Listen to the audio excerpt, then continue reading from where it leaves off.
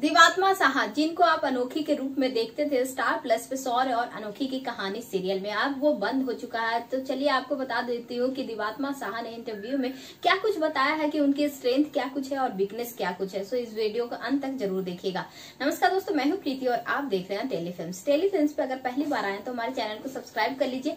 हर एक अपडेट को जानिए और अपडेटेड रहिए। आपको बता दो दिवात्मा साहा के स्ट्रेंथ क्या है और वीकनेस क्या है इस वीडियो में। सो आपको सबसे पहले बता देती हूँ, जिस तरह से उनकी एक्टिंग एक्टिंग थी सौर्य और अनोखी की कहानी में। वो दो दर्शकों को काफ़ी ज़्यादा पसंद आया, बेहद पसंद करते थे अनोखी के रोल में दिवात्मा साहा को। दिवात्मा साहा एक इंटरव्यू में बताते हुए दिखी कि उनकी स्ट्रेंथ उनकी मॉम है। उनकी मॉम हर तरीके से उनको सपोर्ट करती है, उनको प्यार देती है और उनकी मॉम से उनको बहुत ही ज़्यादा स्ट्रेंथ मिलता है। उनकी मॉम हमेशा उनके साथ रहती है, हर डिसीज़न में उनका साथ देती है उनकी मॉम वही इसी तरह से वो स्ट्रेंथ मानती है अपनी मॉम को। और अगर वीकनेस की बात की जाए तो दिवात्मा साहा ने कहा कि वीकनेस है है मेरी इमोशन उनकी इमोशन जो है, वो हर एक दूसरे से जुड़ जाती है। वो बहुत ही ज़्यादा इमोशनल है। जी हाँ दोस्तों, उन्होंने कहा इमोशन एक तरीके से लॉस में भी होता है और एक तरीके से प्रॉफिट में भी होता है। इमोशन एक तरीके से जुड़ जाता है किसी इंसान से या फिर कि, किसी भी चीज़ से। तो ये मेरे लिए वीकनेस मैं मानती हूँ क्योंकि मैं बहुत ही ज़्यादा इमोशनल हो जाती हूँ अटैच्ड हो जाती हूँ